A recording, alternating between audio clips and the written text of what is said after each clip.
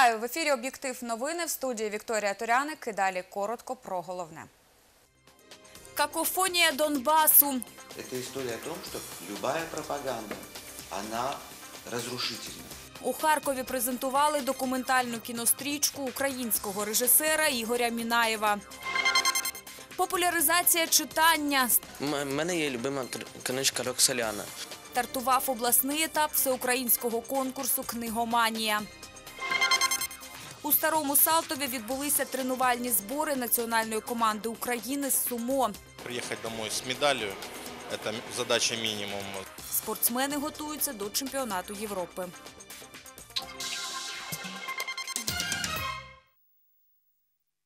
У харківських вузах зростає захворюваність на кір. За даними НТУ ХПІ, у виші з початку року було 13 випадків. Тільки з початку квітня захворіли п'ятеро осіб. У оздоровчому пункті ХПІ здійснюють безкоштовну вакцинацію. Як повідомили в університеті Каразіна, серед студентів виявили 26 випадків захворювання. У виші обмежили проведення культурно-масових заходів. У випадку погіршення стану здоров'я студентам та викладачам рекомендують звертатися до пункту міської студентської лікарні, який тимчасово розташувався на території вишу.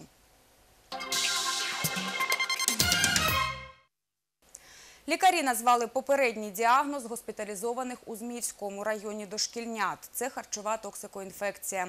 Нагадаю, серед вихованців Слобожанського ясла садку номер 3 Комсомольської селищної ради зареєстрували 10 випадків інфекційних захворювань.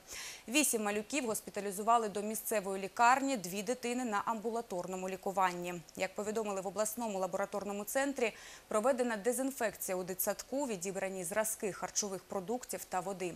Поліція перевіряє інформацію про отруєння. Дитсадок зачинили до 21 квітня. Харківським канібалам подовжили арешт. Як повідомила прес-секретарка прокурора Харківської області Віта Дубовик, відповідне рішення ухвалив Орджонікідзевський районний суд. Двох підозрюваних у скоєнні вбивства з розчленуванням триматимуть під вартою ще два місяці. Дату наступного засідання поки не призначено. Нагадаю, у жовтні минулого року батько з сином 41 та 20 років познайомилися на вулиці з 45-річним колишнім правоохоронцем. Запросили його у гості, вбили, розчленили та частково з'їли.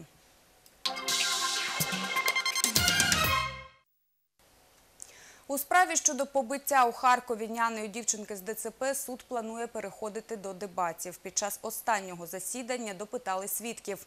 Доньку обвинуваченої Світлани Савченко та судмедексперта, який робив експертизу стану постраждалої дитини. Репортаж із зали суду підготувала Юлія Бойко. На початку засідання Сергій Строгов, адвокат обвинуваченої Світлани Савченко, просить заборонити знімати свідка через загрозу громадського тиску та обмежитися у залі суду лише аудіофіксацією.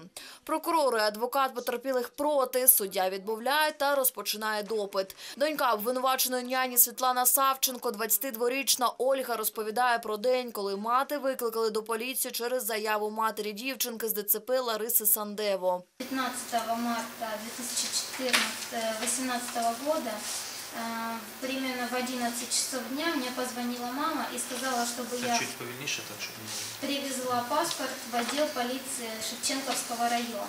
Донька обвинуваченої запевняє, мама не знала, що її знімали на відеокамеру, коли вона доглядала за дитиною. За словами дівчини, родина Сандево кілька останніх місяців не доплачувала Савченко. Матері гроші були потрібні на лікування. Також, за словами свідка, Лариса Сандео кілька разів залишала доньку одну до приходу няні. У свою чергу Світлана Савченко повідомляла роботодавець, коли помічала садна на тілі дівчинки. Захисниця потерпілих і Мілейла Абдулаєва Мартиросян просить суд звернути увагу, що дочка обвинуваченої читає свідчення з листочків. Адвокат Савченко каже, що то її нотатки. Нотатки це не є текст викладеної інформації А4. Якщо суд має можливість перевірити, і в жодному разі я не перебираю повноваження суду, а лише звертаю увагу суду та звертаюсь до суду. Дякую, що звернули увагу. Е, можна? Свідок має право е, користуватися нотатками. Це не заборонено законом. І Я вважав би за доцільне е, продовжити допит свідка і вашу думку. Дякую. Після допиту свідків захисник обвинуваченої Сергій Строгов просив визнати довідку про судимість Світлани Савченко, її копію паспорта, копію медичних довідок дівчинки з ДЦП Валерії Сандево непропустимими. Усього було чотири клопотання. Головним адвокат вважає визнання непропустимим висновок судмедексперта про стан потерпілої. Согласно Криминально-процессуального кодекса, э, м, обратиться к э, судебному эксперту может только сторона криминального производства. В данном случае обратилась э, Сандеви Лариса, которая была допрошена в зале судебного слушания в качестве свидетеля. То есть она участник, участник э, судебного э, производства, но не сторона. Она не имела права обращаться Сторона звинувачення проти розгляду клопотання зараз. Захисниця потерпілих вважає, що адвокат обвинуваченої клопотаннями намагається затягти справу.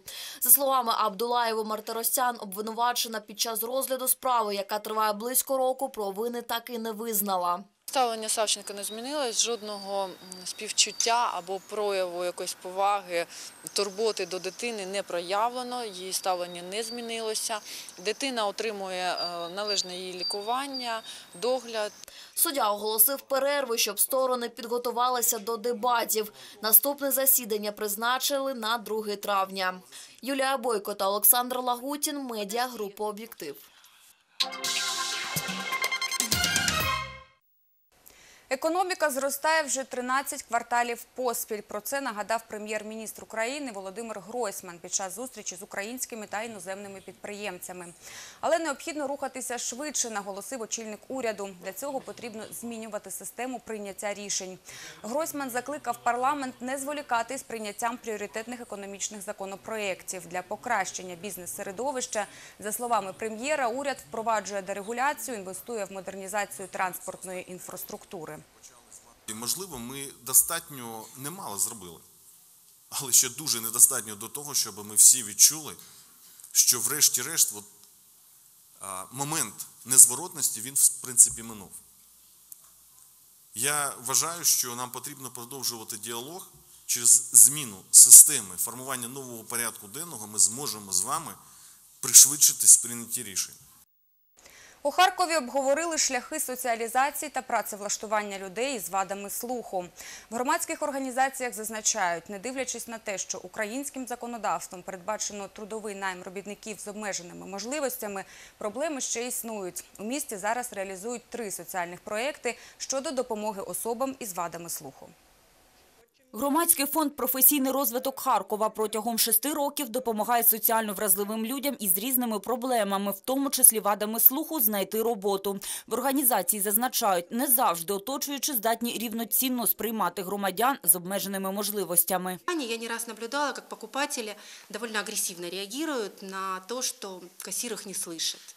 А, Поэтому я бы хотела, в общем-то, харьковчан призвать к большей толерантности а, и относиться с пониманием к тому, что все мы разные. В організації кажуть, із трьох з половиною тисяч осіб, яким вони сприяли у працевлаштуванні, 10% – люди із вадами слуху. Наш фонд реализует пилотный в Украине проект а, совместно с ЮНИСЕФ при поддержке Евросоюза. Проект называется «Обшифт Украина».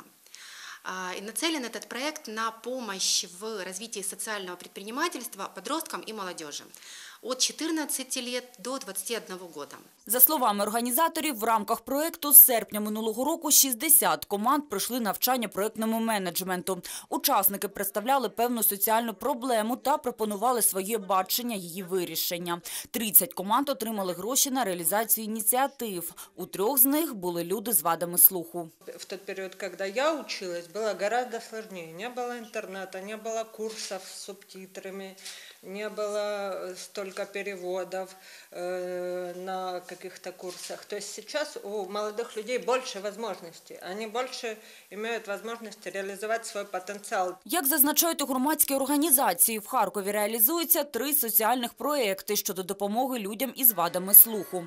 Один з них – народний театр «Аріадна», актори якого – люди з обмеженими можливостями. Проснись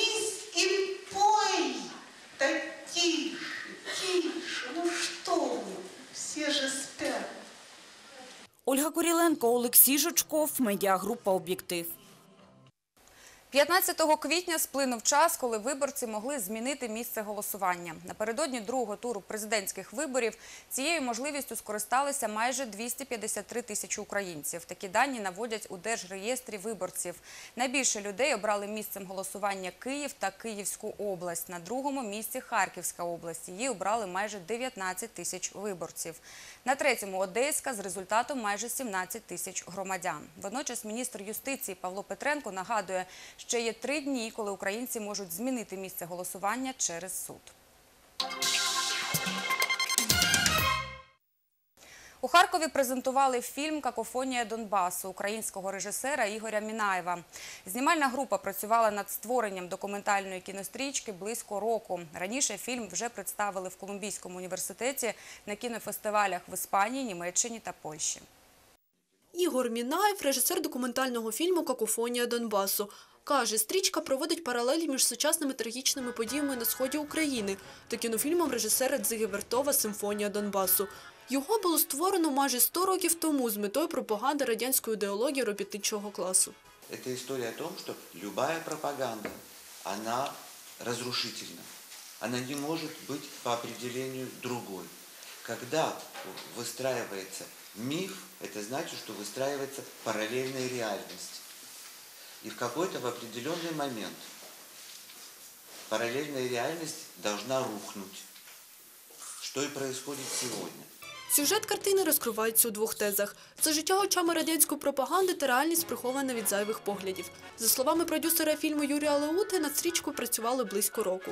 в Київському архіві, кінофотоархіві, це дуже досить добре організований архів, де ми власне знайшли всі- весь необхідний архівний матеріал, е, починаючи з 30-х років і до 90-х. Е, Також записали кілька інтерв'ю колишніх мешканців Донбасу, які виїхали звідти, хтось добровільно, хтось не дуже добровільно. У Харкові документальний фільм вперше продемонстрували у межах фестивалю Французька весна. Он мне открыл э, помогал, э, понимает, э, наверное, ситуация, события, которые есть сегодня. И я думаю, что, к сожалению, по всему миру у нас иногда вот, эм, э, не хватает вот такой исторический процесс, чтобы понимать ситуацию, которая есть сегодня. И so, когда я видел этот фильм, я думал, э, е- что, что это будет э, очень интересно вот э, это показать здесь, в Харькове. Стрічку вже представляли на кінофестивалях Іспанії, Німеччини та Польщі. Також фільм вийшов у прокат у Франції. Василиса Степаненко та Олексій Жичков. Медіагрупа «Об'єктив». Напередодні Великодня розпочались перевірки стану пожежної безпеки культових споруд. Фахівці ДСНС пересвідчуються у наявності первинних засобів пожежогасіння, вільному доступі до шляхів евакуації та справності електрогосподарства. Рятувальники спілкуються з вірянами та настоятелями церков, вручають пам'ятки з правилами пожежної безпеки та інструктують щодо порядку дій у разі небезпеки. Нагадаю, у Люботині в неділю згорів Свято-Миколаївський храм. Вогонь знищив 200 квадратних метрів площі церкви. У Харкові пройшла дитяча олімпіада з ментальної арифметики. Як маленькі вундеркінди швидко додають, помножують та віднімають цифри, розповімо після новин економіки. Слово Вікторії Вашкевич. Я вас вітаю. Ви дивитеся блок новин економіки. Нафтогаз не зможе знизити ціни для населення, а куліч до Великодня здорожчає на 7%. І детальніше про це. Нафтогаз України не зможе знизити ціни на газ для населення. Як повідомили у Національній акціонерній компанії, вартість блакитного палива з травня складатиме приблизно 9 гривень 80 копійок за кубометр.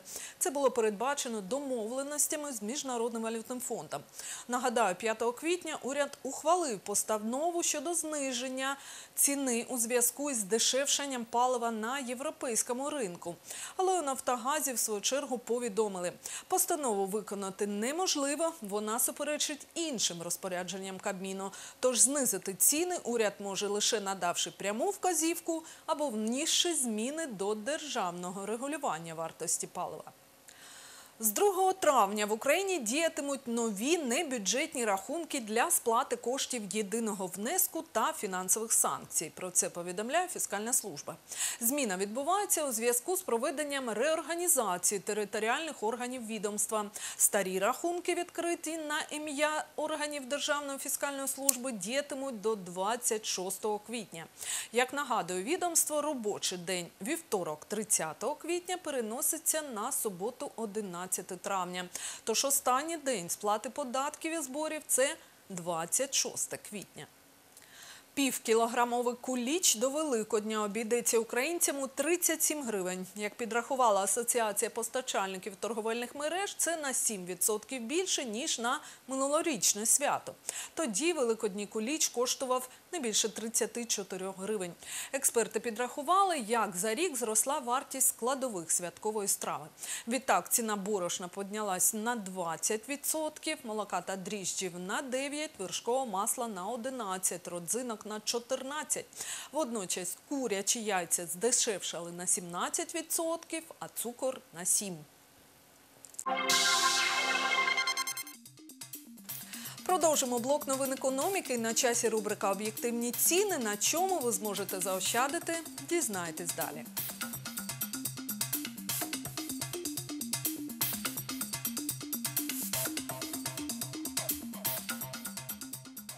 І наостанок курс валют від Національного банку. Долар 26 гривень 81 копійка, євро 30,33 та фунт стерлингів 35,14. І на цьому я завершую випуск. Продовжить Вікторія Туряника. Я вам бажаю гарного настрою. Хай щастить!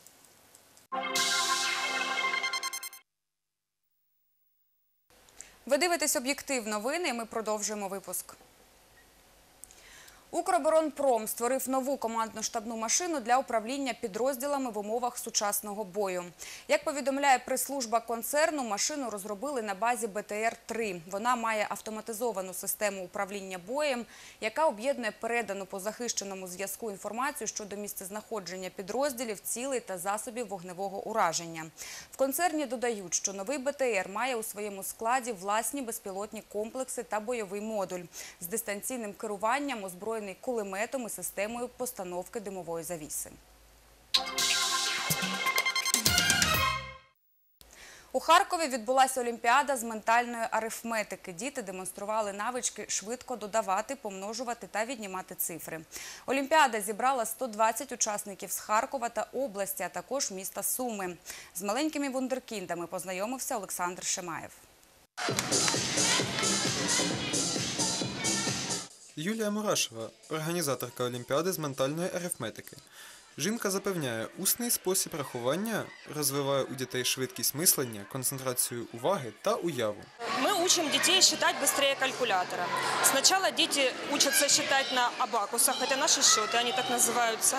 А после этого, как только они хорошо научились считать на абакусах, они переводят это все в свое воображение. Э, и Они представляют картинку, они передвигают косточки, и, соответственно, э, навыки, которые формирует ментальная арифметика, они эм, очень, э, скажем так, в наше время э, востребованы для детей и для родителей в том числе. Фахівці запевняють, ментальною арифметикою можна займатися з п'яти років. Лейла, мама одного з учасників Олімпіади, також стверджує, заняття добре впливають на розвиток її сина. ходит на ментальную арифметику уже второй год. И за это время я считаю, что у нас достаточно хорошие результаты. Мы являемся призерами школьных олимпиад, э, районных и даже городской олимпиады по математике. Учень молодших класів Марат каже, такі тренування допомагають йому у навчанні та повсякденному житті. Это очень сильно помогает мне в учебе, потому что я могу считать трехзначные числа в уме и очень быстро учить стихи. Організаторка Олімпіади Юлія Мурашева зазначає, що діти з радістю займаються ментальною арифметикою, адже програма створена на базі гри. Маленькі бешкетники за правильні відповіді отримують призи. У нас очень сильно хорошо продумана мотивация. Мы э, после того, как они э, делают домашние задания, а домашние задания это необходимость ментальной арифметики, без этого не получится результата, который мы э, утверждаем, да? Э, Они получают кубки, турнирные таблицы, они получают индиго-доллары. На эти индиго-доллары они могут пок- купить э, себе браслеты, чашки, наклейки, магниты, футболки, то есть э, рюкзаки. Захід зібрав 120 дітей віком від 5 до 14 років з Харківщини та міста Суми. Олександр Шамаєв та Олексій Колмик, медіагрупа Об'єктив. В Харкові стартував обласний етап всеукраїнського конкурсу дитячого читання «Книгоманія». Близько 50 учнів сьомих класів змагаються за перемогу. Головний приз – поїздка на читацький форум до Львова. Василиса Степаненко слухала дитячі презентації книжок різних жанрів. Назару В'юннику 12. Він із Краснокутського району. Каже, захоплюється грою футбол та малюванням, але найбільше полюбляє читати. Улюблений письменник хлопця Осип Назарук. Підліток запевняє, прочитав усі твори цього автора. У мене є любима книжка Роксоляна. Е, Вона автор неї Осип Фадеєвич Назарук. Народився на Тернопільщині, е, там, де і Роксолана. Чому мені подобається? Тому що там розказано дуже багато. Ну, я люблю, коли книжки великі. е, Коли, ну, вона взагалі то такого десь розміру, але в ній вмістили 346 сторінок. І мені подобається те, що там ну, не так багато пригод, мені подобаються описи. У Харківській обласній бібліотеці для дітей стартував конкурс «Книгоманія». Близько півсотні семикласників цьогоріч беруть участь та демонструють свої улюблені книги. Розпочався конкурс театральної вистави за твором Квітки Основ'яненка «Сватання на Гончарівці». Як почнеш їх лічити, так один одного і попереджай, і попереджав. Ну ось ти мені скажи, Уляна, ну на якого гаспеда так багатько пальців? Га? Не знаєш? А я знаю. Всеукраїнський конкурс «Книгоманія» проходить з 2005 року. За весь час він об'єднав близько мільйону школярів. Цьогоріч вперше на конкурс приїхали діти з підконтрольної території Донецької області. Дуже дітям подобається, вони з такими горячими очима, їм дуже хочеться поділитися цією радістю і радіємо за них. і. Це не тільки улюблені книжки, свято читання, але це і спілкування, передусім за все, і з дітьми, з такими ж, як вони, то ці переможці. Багато вражень. Серед журі конкурсу Марія Сердюк, авторка дитячих книжок. Жінка каже, література за шкільною програмою є досить складною. Саме тому вона вирішила створити серію біографічних нарисів та кулінарних рецептів для дітей. Марія вважає, що саме ці теми є найбільш цікавими та пізнавальними для дітей цього віку. Взагалі це дуже крута ідея, оскільки популяризація читання серед підлітків. І ну, особисто я вважаю, що це надважливо, е, оскільки 21 сторіччя діти постійно в смартфонах, постійно в Ютубі. І мені особисто дуже боляче, що вони не читають паперові книжки. І цей конкурс він спрямований на те, щоб популяризувати читання, щоб діти читали, ділилися своїми думками, оскільки це важливо. Переможці конкурсу поїдуть до Львову на читацький форум. Василиса Степаненко та Олексій Колмик. Медіагрупа «Об'єктив». У Харківобленерго з'явився новий багатоканальний телефон. Як повідомили у компанії, для розширення доступу до операторів вони ввели для громадян додатковий номер. Він працює цілодобово. Телефонувати можна за номером 093 170 28 85. В свою чергу на комунальному підприємстві «Харківводоканал» номер гарячої лінії працює щовівторка. Телефонувати можна з 2 до 4 дня за номером 712 26 13. У Старому Салтові відбулися тренувальні збори національної команди України з сумо. Півсотні борців з усіх регіонів покращували спортивну форму протягом 10 днів. Збори були підготовчими до чемпіонату Європи, що на цьому тижні розпочнеться в столиці Естонії. Всі лідери збірної України у строю. Тренування проводились у лісовій зоні, що урізноманітнює загальну фізичну підготовку. Є можливість бігати кроси по пересіченій місцевості, плавати у відкритій воді і відпочивати на свіжому повітрі. утренние пробежки, вечерние, то есть э, расслабление, потом после всех тренировок, допустим, в моменты отдыха, э, вода, хвойный лес, релакс, расслабиться, подумать над техникой и продолжать дальше. Представники Харківської області складають значну частину команди. Постійно на зборах перебували неодноразові призери чемпіонатів Європи та світу Марія Дербаян, Дар'я Коритіна, Деміт Караченка і Максим Олешко. Загалом 10 моторі на чолі з президентом обласної федерації. Четыре человека не смогли выехать на полноценный сбор, подъезжают на день, два, три, набороться, возвращаются в Харьков, там какие-то семейные у кого дела, у кого ну, какие-то свои нюансы, но стараемся подъезжать, набарываться, и не только лишь 10 человек, которые здесь, еще подъезжают ребята. Оскільки на зборах перебували борці з усіх регіонів України, розмаїття технічних і тактичних прийомів було достатнім. Нове могли побачити навіть досвідчені і заслужені спортсмени, такі як одесит Олександр Вересюк. Сподіваюся, це допоможе йому виконати завдання на чемпіонат Європи. Приехать домой с медалью – это задача минимум. Задача максимум – преодолеть э, вечных конкурентов э, из России. В принципе, люди одни и те же, э, изучили, отработали. Будем смотреть по результату. Товариська атмосфера зборів дозволяє застосовувати нестандартні вправи для підготовки. Під час тренувань траплялось так, що в борцівську пару жінки ставали з чоловіками. Це дає унікальну можливість прокачати нові вміння. Ну, мне кажется, мальчики, как бы, ну, смотря какой-то веса, м- э, мухачи, они более быстрые, плюс разная борьба. С тяжами можно как бы постартовать по-другому. Ну, для разнообразия, говорится, это очень круто и хорошо. Континентальна першість в Таліні розпочнеться 18 квітня. Олександр Григоров для медіагрупи «Об'єктив». Це всі новини на сьогодні. На сайті Об'єктива завжди є свіжа інформація. Я з вами прощаюсь. До зустрічі і на все добре.